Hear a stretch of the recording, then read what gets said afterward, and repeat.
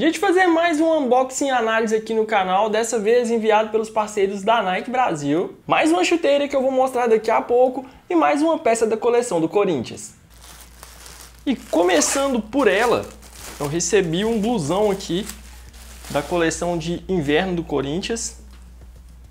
Então, combinando com a camisa que eu já tô aqui. Moletom todo preto com o sushi e o brasão do Corinthians em branco, bolso lateral, capuz, estilo que eu gosto bastante. Já que tá frio, já vou aproveitar, já vou vestir e vou fazer a análise com ele. Tamanho M que eu visto normalmente.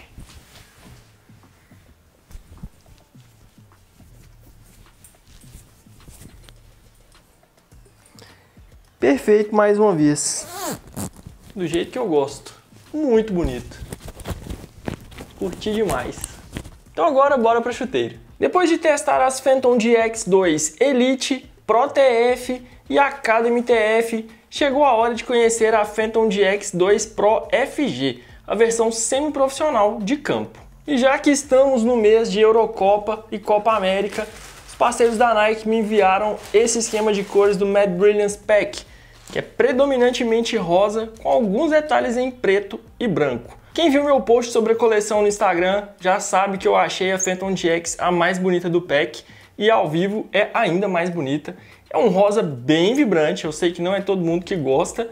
No colar Ninite aqui é um rosa um pouquinho mais claro, mas no restante do cabedal é uma tonalidade bem viva mesmo, puxando para um fluorescente mesmo, mas curti demais. Como vocês estão vendo aí, nos últimos anos eu tenho gostado cada vez mais de chuteiras coloridas. Ainda prefiro pretas e brancas, mas as coloridas têm me ganhado aos poucos. E por ser uma versão semi-profissional, aqui apenas a chuteira, nenhum acessório. Como eu acabei de falar, aqui na parte do colar, onde o texto fica exposto, o tom de rosa é um pouquinho mais claro, tem o sushi pretinho aqui, bem pequeno. Na parte interna, tecnologia All Conditions Control, da mesma forma que acontece na versão Pro para Society. Sushi mais uma vez pequenininho aqui na frente e o sushi lateral com a marcação da tecnologia Flyknit, Diferente da Elite, que o sushi tem uma textura como se fosse um diamante, uma textura em alto relevo, aqui na Pro existe o brilho também, mas é um silk normal, não existe aquela textura de diamante. É um tom de rosa bem fluorescente mesmo, que vai virando esse degradê aqui para branco. Aqui no calcanhar, apenas o nome tá ali em preto. E o solado também é predominantemente branco, com as travas pretas e apenas a parte frontal aqui em rosa. Vai dividir opiniões, mas eu gostei bastante. Me conte aí nos comentários o que você achou desse esquema de cores. Fala galera do Camisas e Chuteiras, se você ainda não me conhece, eu sou o Vitinho e após a análise, se você quiser comprar a Phantom GX2 Pro FG ou qualquer outro modelo do Mad Brilliance Pack, eu deixei links aqui na descrição e no primeiro comentário fixado. Comprando por esses links vocês não pagam mais caro e me ajudam a trazer cada vez mais conteúdo para o canal. Também vou deixar aqui embaixo o link desse blusão do Corinthians e da coleção completa de inverno do time. Diferente da primeira geração da Phantom GX, eu achei que a GX2 Pro, assim como já tinha falado na versão para sua site, ficou muito mais parecida com a GX2 Elite. Então o visual dos modelos é muito próximo mesmo, principalmente por conta da inserção do colar em Flyknit, que fez muita diferença no visual, mas principalmente no desempenho, já que o ajuste desse colar é excelente, muito confortável, não dificulta em nada para calçar a chuteira, já que na primeira geração da GX1 Pro eu tive muita dificuldade para calçar, aqui isso não acontece.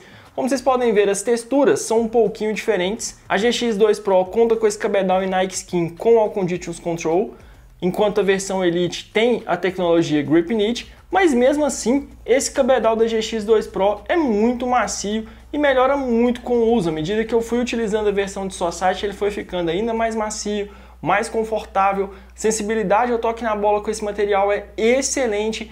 Eu realmente não senti essas texturas fazendo tanta diferença assim em relação ao grip em contato com a bola. Mas de qualquer forma, esse cabedal já entrega um bom grip. Mas ele já não tem aquele toque mais plástico inicial e melhora muito com o uso. Como vocês já viram o teste análise aqui no canal, eu gostei muito da GX2 Pro TF, que tem exatamente o mesmo cabedal da versão para campo. Eu só esperava que essa película bem fininha de material sintético repelisse melhor a água. Eu joguei com a versão para Society em dias de chuva eu senti que ela encharcou um pouquinho, menos do que a primeira geração, mas mesmo assim encharcou. Então acho que esse material, por ser uma chuteira semi-profissional, poderia repelir um pouquinho melhor. E seguindo o padrão da GX Elite, A GX2 Pro também tem um contraforte um pouco mais maleável, ele consegue entregar uma excelente estabilidade e ajuste na área, mas ele é um pouco mais baixo, principalmente aqui na parte superior, evitando pontos de pressão e bolhas, principalmente aqui no tendão de Aquiles. E a Pro conta com um revestimento têxtil com um toque bem suave, que é muito parecido com o que nós encontramos na versão profissional.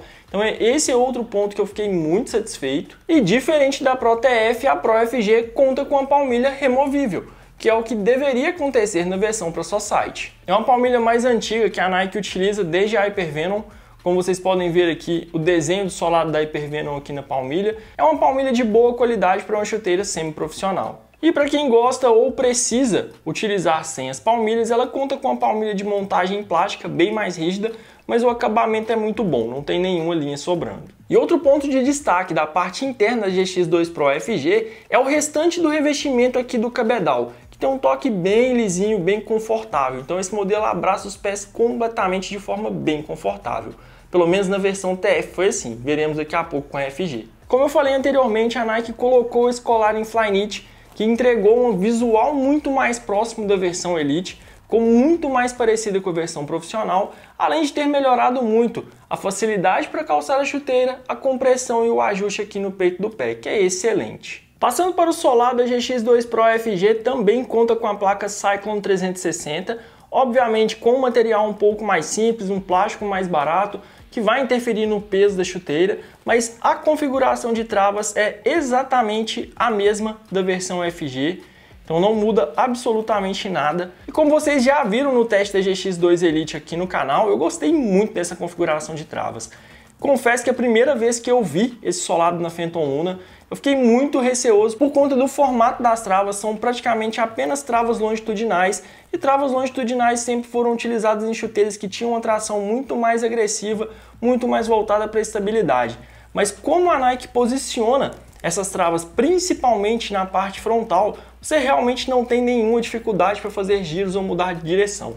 Me senti muito seguro e confortável em todas as vezes que eu joguei com a GX2 Elite. E pelo estado do solado dá pra ver que eu já utilizei bastante. A principal diferença que eu notei aqui é que, pelo menos inicialmente, a placa da GX2 Pro FG é um pouco mais rígida que da versão Elite. Pode ser que esse solado fique mais flexível com o uso e aumente a flexibilidade aqui no médio pé. Só que se manter dessa forma, eu vou gostar ainda mais desse solado, porque eu prefiro ter um pouco mais de rigidez e estabilidade aqui no médio pé, nessa placa flexora. Como vocês estão vendo aqui, o solado é bem firme mesmo. Então eu acredito que esse solado vai entregar um pouco mais de estabilidade aqui no médio pé. Não que eu tenha tido algum problema com a versão Elite, já que ela tem um perfil de travas bem mais baixo mas eu prefiro essa parte um pouco mais rígida. Mas esse é um ponto que eu vou reavaliar depois do teste em campo. Com tamanho brasileiro 41, a Phantom GX2 Pro FG pesa 224 gramas, ela ficou 6 gramas mais leve do que a primeira geração, que pesava 230 gramas com a mesma numeração. Eu até achei que ela poderia ser mais leve, mas 224 gramas para uma Control Boot semi-profissional é uma marca muito boa. Nesse ponto, a GX2 Elite é praticamente imbatível. Se eu não me engano, é a Control Boot mais leve que eu já testei, já que com o tamanho 41 ela pesa apenas 193 gramas, que é o mesmo peso da Vapor 15 Elite. Por contar com esse novo colar em Flyknit, é bem tranquilo calçar a Phantom GX2 Pro TF. Você não precisa de uma calçadeira, com jeito o seu pé vai deslizar para dentro dela tranquilamente. E como eu já tinha falado, o ajuste e o conforto, principalmente aqui no peito do pé, é excelente, ela entrega uma compressão muito boa, idêntica à versão profissional, que é a GX2 Elite. Então esse Flyknit é exatamente o mesmo, compressão é excelente, muito confortável, bem melhor do que a primeira Phantom GX Pro FG, que tinha um colar bem mais rígido, muito difícil de calçar e não entregava esse mesmo conforto. O cabedal, como eu falei, por ter testado a GX2 Pro TF, é um cabedal que já é muito macio inicialmente, mas ele vai ficar ainda melhor depois de um período maior de uso. A única diferença que eu senti aqui na versão FG é que a sensação que eu tive é que esse cabedal é ligeiramente mais estreito do que a TF. Então esse ajuste ficou excelente para o meu formato de pé, já que eu tenho um pé médio, eu tenho joanete e mesmo assim eu não senti nenhum ponto de pressão, nenhum incômodo A única diferença que eu senti é que na versão para campo ela ficou bem mais certinha mesmo nos pés. Não tem nenhuma sobra e esse ajuste é muito mais firme. Então eu acredito que eu vou precisar de um período maior de quebra em comparação com a TF. No médio pé eu senti ela bem mais justa, mas para o meu formato de pé esse não é um problema. E como eu já tinha antecipado, o revestimento interno do calcanhar é muito confortável também. Se eu não me engano, um pouco mais acolchoado do que a Pro TF. Sobre o solado eu vou falar melhor depois do teste em campo. Esse par tem um tamanho brasileiro 41, americano 9,5, que corresponde a 27 cm. Minha numeração regular e tamanho que normalmente eu utilizo para chuteiras da Nike. E o ajuste, como eu já falei, senti no comprimento exatamente o mesmo da Phantom GX2 Pro TF, a versão para só site, só que na largura eu realmente achei ela um pouco mais estreita. Esse não é um problema para mim que tem um pé médio, e mesmo tendo joanete eu não senti nenhum ponto de pressão nas laterais. Mas se você tem os pés mais largos, eu recomendo que você experimente antes de comprar. Eu tenho certeza que depois de um período de quebra ela vai ficar ainda mais confortável, esse cabedal vai ficar mais macio. E diferente da Pro TF que tem uma palmilha colada, caso esse ajuste mais firme da Pro FG comece a me incomodar nas primeiras horas de uso, eu só preciso retirar a palmilha, já que nessa versão ela é removível. Mas eu acredito que esse cabedal vai ficar ainda mais confortável nos primeiros minutos em campo. Mas independente do formato do seu pé, a minha recomendação é de numeração regular. Ajuste bem superior e mais confortável do que a primeira geração da GX Pro. A Phantom GX2 Pro FG chegou ao mercado custando R$ 1.199,99, sendo a Pro mais cara da Nike atualmente. Eu entendo que o modelo fica muito próximo da versão profissional, muito perto da Elite mesmo, tem algumas tecnologias que são utilizadas na versão profissional, como o Conditions Control, Flyknit, tem um nível de acabamento excelente. É um modelo que eu tenho certeza que não vai me decepcionar em campo, justamente por conta da excelente experiência que eu tive com a ProTF. Mas mesmo assim, R$ 1.199,99 para uma chuteira semi-profissional é um preço muito salgado, principalmente levando em consideração que vez ou outra aparece algum Elite no site da Nike com esse mesmo preço, ou um preço bem próximo. Mas como vocês sabem, essa foi apenas uma análise inicial, vou falar melhor sobre preço e custo-benefício no teste em campo. Mas como eu já esperava, a primeira impressão foi excelente. Tenho certeza que a experiência em campo com a GX Pro FG será basicamente a mesma que eu tive com a Pro TF, que até o momento tem sido uma das minhas favoritas para sua site no ano. Então tenho certeza que eu vou gostar muito da GX2 Pro FG. O que você achou da análise inicial da Phantom GX2 Pro FG? Se já utilizou o modelo, me conte aqui nos comentários como foi a sua experiência. E se tiver alguma dúvida, basta deixar a pergunta aqui nos comentários também. Gostaria de agradecer aos parceiros da Nike Brasil pelo envio dos materiais e principalmente por sempre confiarem no meu trabalho aqui no Camisas Chuteiras. Muito obrigado! Se gostaram do vídeo, deixem um like, compartilhem com os amigos e principalmente inscrevam-se no canal. Até breve!